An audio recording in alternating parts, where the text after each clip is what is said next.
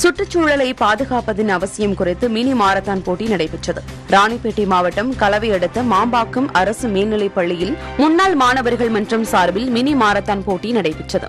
கல்வி வேலைவாய்ப்பு சுற்றுச்சூழல் பாதுகாப்பின் அவசியம் மரம் வளர்ப்பதன் அவசியம் பசுமை புரட்சி இவற்றை வலியுறுத்தும் வகையில் மாணவர்களுக்கு விழிப்புணர்வை ஏற்படுத்தும் வகையிலும் இப்போட்டி நடத்தப்பட்டது.